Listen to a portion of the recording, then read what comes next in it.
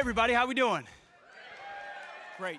What, what a honor and a pleasure it is to follow David Barton, not just to listen to him, but I was a teenager in the 90s when his book Original Intent came out. I didn't read it when I was in high school, but when I went to college, I went to Princeton, and we'll talk about the problems of the Ivy League in a moment. And I took, I, I thought, you know what, I'm gonna take a course on early Christianity. And I walk in my first day, it was taught by Elaine Pagels. She was a very famous pr- professor on the Gnostic Gospels. And she walked in and said, This is my statement, refute it. Jesus was uh, buried in a shallow grave and eaten by dogs. This is Christianity as taught, uh, 2001, Princeton.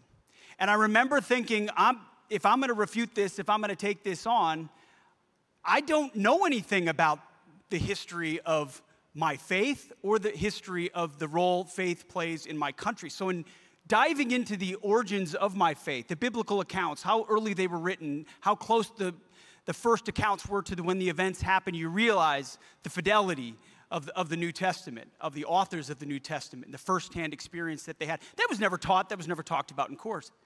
Same thing when it comes to civic life, when it comes to the role Christianity played in the founding of our nation. I showed up at college, I remember reading his book and being told by a roommate, a friend of mine, don't read that radical stuff. None of that's true. Good friend of mine, nice guy, good family. None of that's true. Don't touch that third rail. God has nothing to do with politics at all, certainly nothing to do with the founding of our nation. You see, those origins that David's been committed to revealing for 30, 35, 40 years uh, are things that have been buried, as you know, for students across our country for far longer than that. And the whole plot and the whole plan is intentional. You see, when I stand in front of audiences, the first thing I say, and I think it connects all of us, most of us, is that I stand in front of you as a survivor. Not just a survivor of my own human nature and sinful nature, it's of course the case, but a survivor of a progressive, godless education that I didn't even know that I received. That most kids in American classrooms today have no idea they're receiving. You see, I grew up in a wonderful Bible believing Christian home. My parents took me to church every Sunday morning. We went to Awana every Wednesday night. We were, we were Baptist, First Baptist Church. But everything about what happened at church was completely disconnected from what happened at school or every other part of my life. That was intentional, and I believed that the gap between the two was the way things had been and should be. And again, this is in a conservative, exurb, suburban uh, Minnesota public school. My dad was a public school teacher. All of my mom's siblings are in the public schools. That's what we did, right? Sports, prom, the bell ringing, everything. Public school is good enough for me. It's good enough for my kids. It's the default of what we do. But when David put those three circles up on the screen church, family, and government what I see there, he talked about the totality of government, and he's entirely right. What I see is church, family, and government schools. Government schools are the way in which most kids are introduced to civic life. Most kids are introduced to education. And if I thought it was bad in the 90s at Forest Lake Public High School, you see if you watch the Fox News channel, we broadcast it on Saturday and Sunday morning. The lunacy has only ramped up as the left has become only more emboldened in their schemes coming to fruition. Most people here are survivors of the very same education system, with a government school life completely and intentionally detached from your church life and your home life. Now, I want to salute every pastor, every family of pastors that are in the audience here today. I truly believe that you are on the front lines of America's comeback, of the opportunity for a country that honors God.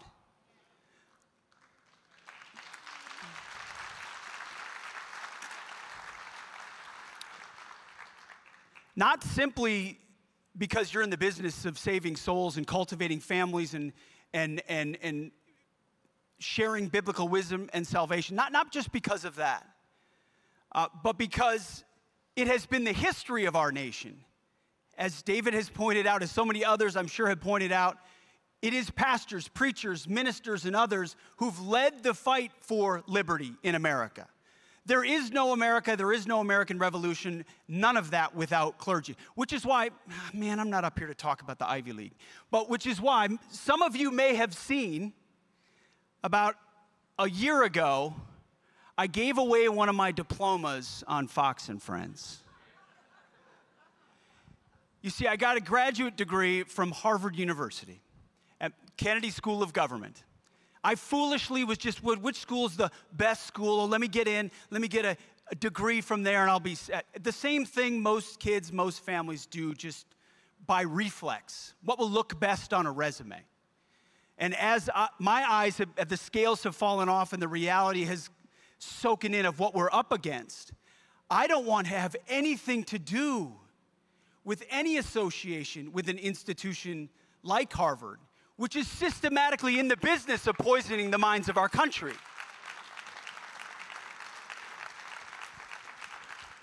So, live on Fox and Friends, my mom was so sad. She said, Pete, don't do that. You worked so hard for that diploma. I ripped the diploma out of the frame, took a Sharpie, and crossed out Harvard University and wrote Critical Theory University, which is what it is. And then I wrote Return to Sender and I mailed it back to him.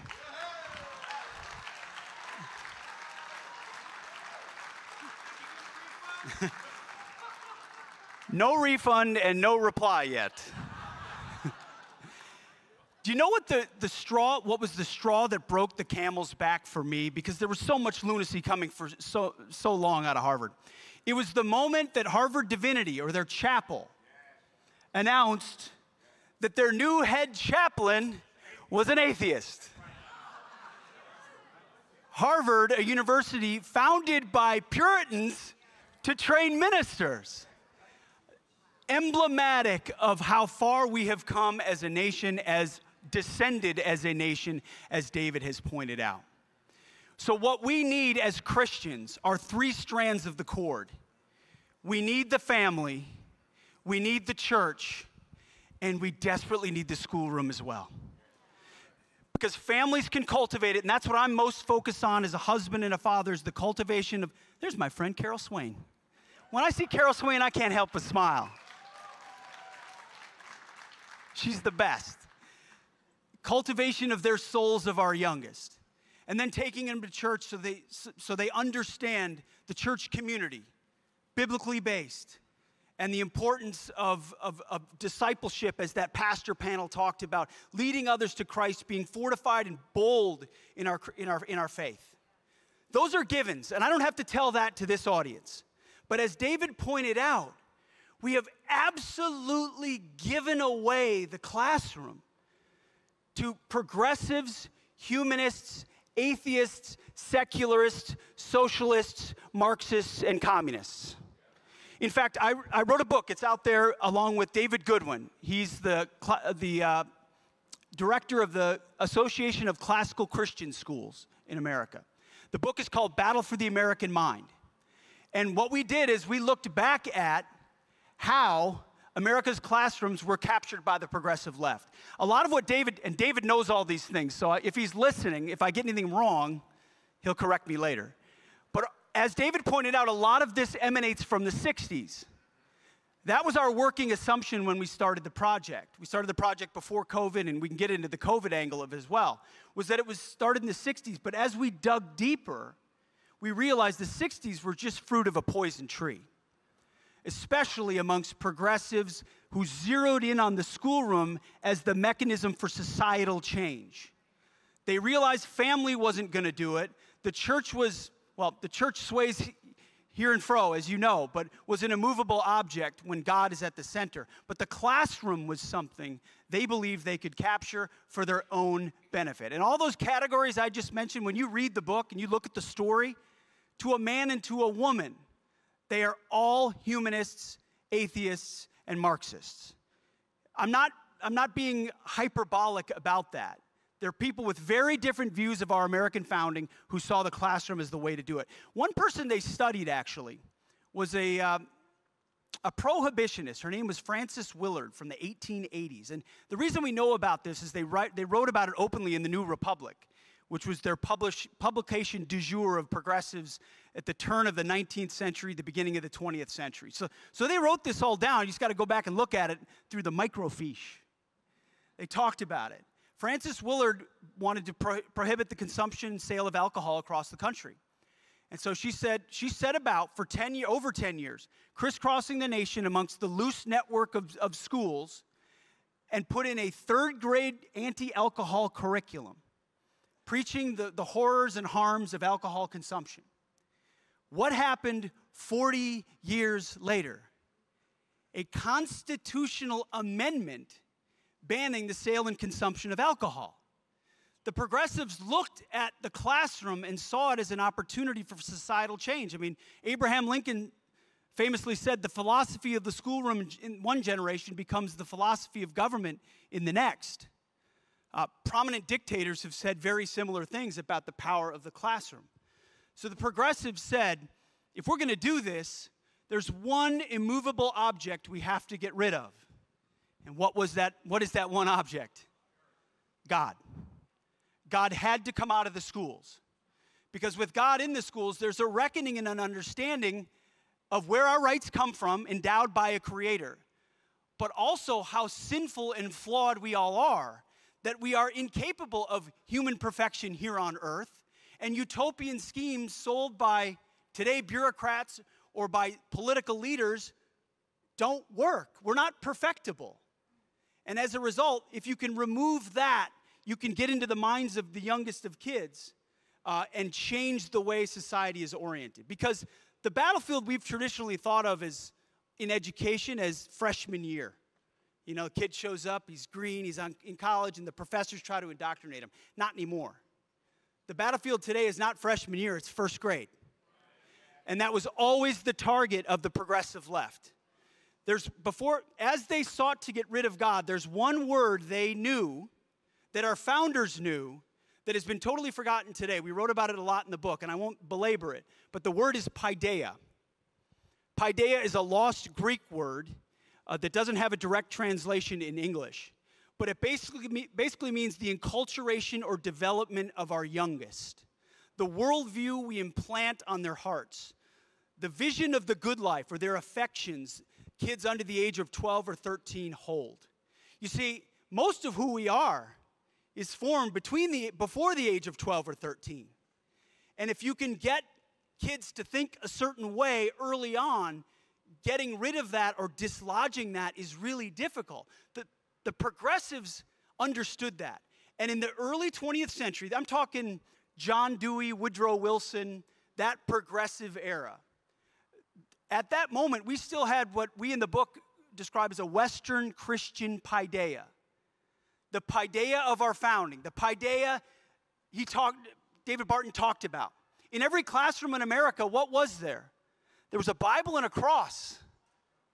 Public schools, community schools, not religious schools, schools across America, you learn to read from Scripture. It was part of the bloodstream. So the paideia of young kids was one of belief, one of tradition, one who understood the giants of history and the flaws of the human heart.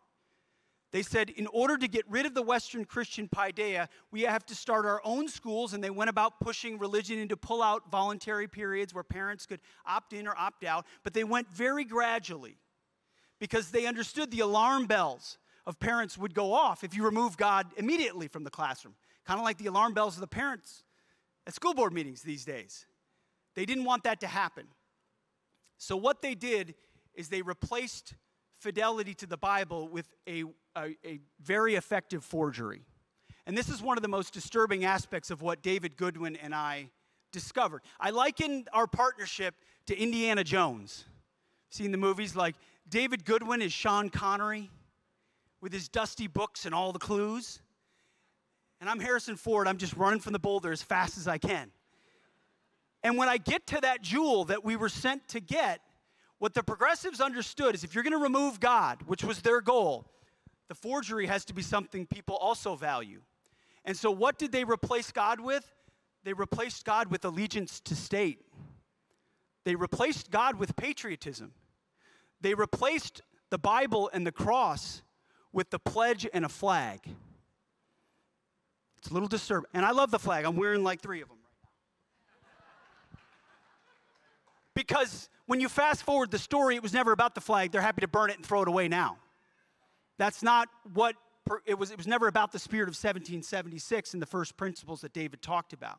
Because allegiance to the state, or that word democracy, is far more malleable than allegiance to an almighty God. And as a result, they could start pushing in different forms of instruction, social study. Who here took social studies? Me too. Invention of the progressives. Not an actual subject until about 80 years ago. It was theology, it was philosophy, it was history, it was civics, uh, it was uh, literature. Take your pick. Social studies is emblematic of their attempt to reduce men and women and our souls down to a scientific calculation that can be manipulated or understood outside of a biblical context. So, all of the assumptions, the things that we think and we know about school, when I say all, I mean almost all, I'd say most, are progressive. And that's why I call all of us, most of us, survivors. Because we didn't even know we were getting a progressive education, even if we lived in a conservative community, wherever that may be. Then the Supreme Court went to work. But one little irony of history that makes sense today is while our boys were fighting in World War II in the beaches of Normandy, there were a group of Marxists who fled Hitler in Germany and landed at Columbia University. They were called the Frankfurt School. And the Frank, they, they landed at Columbia University and they came with a new theory. That theory was critical theory. Critical theory's entire premise is to destroy Western civilization, capitalism, uh, free thinkers, deconstruct it, destroy it. What is Columbia University? It's the most preeminent teachers' college in America. So you wonder where critical gender theory or critical race theory came from. It's the 1930s and the 1940s when intellectuals fled Germany, implanted it into the educational pipeline, and it became the philosophy du jour of elite universities for decades and decades, pushed into teachers' colleges, pushed into curriculum, pushed into pedagogy, which is how you teach, not what you teach, based on the word paideia. And soon enough, after COVID and after enough, after they felt like their consolidation was so complete, they popped up and said, boys are girls, girls are boys. And if you're black, you're automatically oppressed. And if you're white, you're automatically an oppressor. These are based on philosophies that the left has been pushing for a long time. And because of the power of unions, because of the complete takeover of our public institutions, they feel emboldened to do just that. I mentioned the pledge. By the way, our original pledge was, did not say under God, it was written by a socialist. Eisenhower added under God while we were fighting the God, godless communists in the 50s. So the pledge has its place, the flag has its place, but it shouldn't be the center place, especially for Christians and freedom lovers. So after the after we had the Western Christian Paideia, it became an American Progressive Paideia from the 60s forward. You get the teachers' unions create the Federal Department of Education with the help of Jimmy Carter. They literally created it. Uh, they brag about it. Jimmy Carter talked about it. They take it over. Howard Zinn does his work writing the most popular textbook in American history called A People's History of America. It's literally American history written from the Soviet perspective.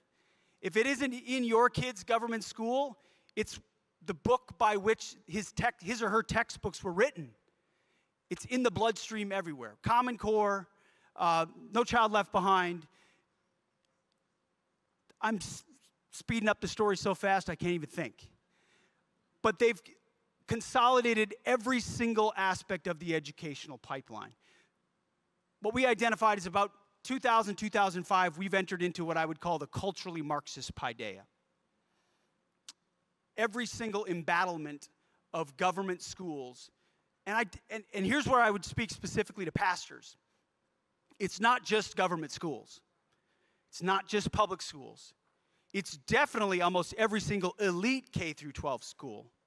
And it is most, most Christian schools, which have a fully progressive educational philosophy with a little bit of God sprinkled on top, which creates the same bifurcation, the same breaking of the strands that exists if you go to a public school over here and a church over there. And so, my key message to pastors today is, and I'll quote uh, Charles Potter. He was a fellow traveler of John Dewey.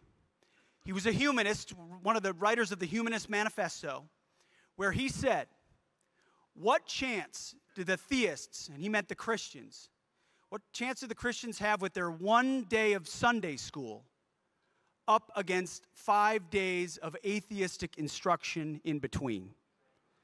They knew from the beginning that when Christians retreated to Sunday school because the government got in the business of education, that the atheists would go to work while we were absent. I implore on the heart, I say this as someone who, I heard the pastor's panel before this, who grew up in a seeker sensitive church in Minnesota. God, God bless him. The church exploded but the culture eroded around it. And nothing was done about it, nothing was addressed. There, there were classical Christian schools clamoring for support, and the church wouldn't touch it. I hope that's changing a little bit today, but for decades, the church, no, we don't do education. We don't talk about policy. We don't talk about politics. Let's hope COVID was a moment where churches woke up to the reality of what the government will do to you.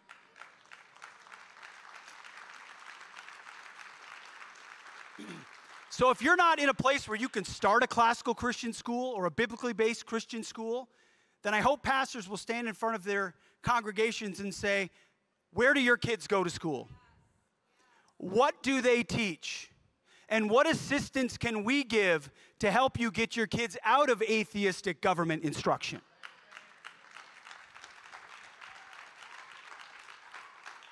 Because I'm living proof of what chance do you have one hour on Sunday night, one hour on Sunday morning, one hour on Wednesday night, and 40 hours in the middle of the week.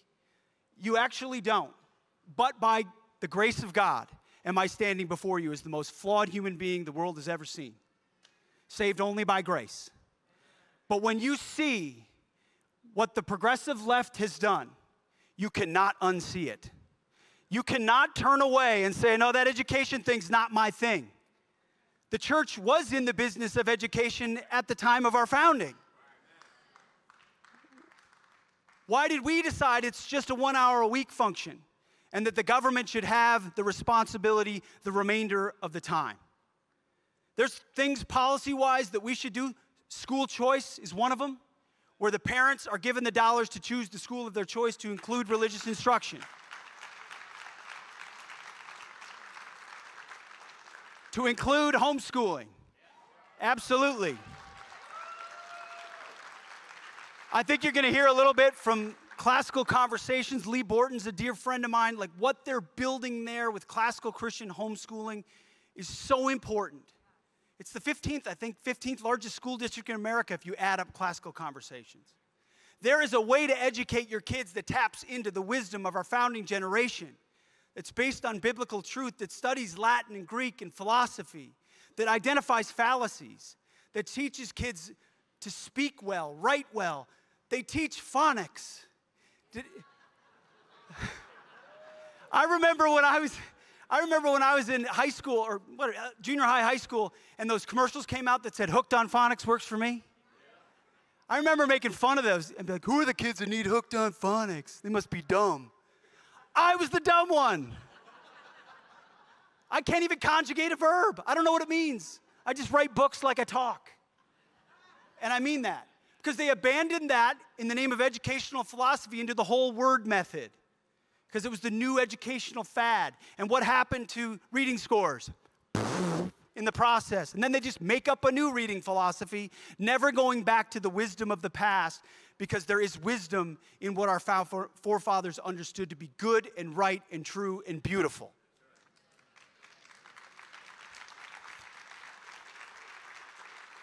So, thank you for being here. Thank you to Turning Point Faith for leading this charge. Man, has this been needed for so long.